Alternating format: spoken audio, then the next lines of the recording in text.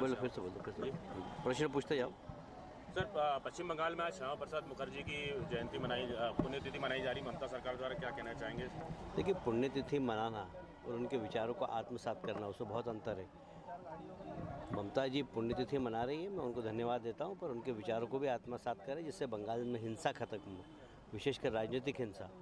जिस प्रकार से वो बदले की भावना से भारतीय जनता पार्टी के कार्यकर्ताओं को अ, हत्या करवा रही हैं। मैं समझता हूँ कि ये डॉक्टर श्यामा प्रसाद मुखर्जी के विचारों के अनुरूप नहीं है।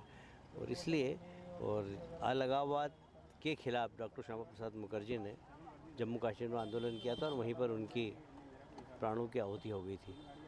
ये अलगाववाद बंगाल के अंदर ममता जी ने चला रखा है। मैं समझता हूँ कि जो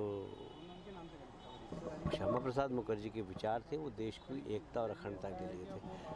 और ममता जी की राजनीति पूरी तरीके से देश में बांटने की राजनीति है। सर धारा 370 भी हटाए जाने की शुरुआत की जा रही है। किस तरह से होगा वो तो वो हमारा वचन है। और जब भी राजनीतिक अनुकूलता होगी धारा तीन सौ सत्तर हटेगी एक नीमच में सर आज सुबह सुबह खूंखार कैदी जो है जेल ब्रेक करके भाग गए चार कैदी हैं। इस सरकार में कुछ भी हो सकता है क्योंकि यहाँ पर पद और पोस्ट बेची जा रही है। इसलिए कॉम्पिटेंट पर्सन वहाँ पर नहीं होंगे तो इस प्रकार की घटनाएँ होती रहेंगी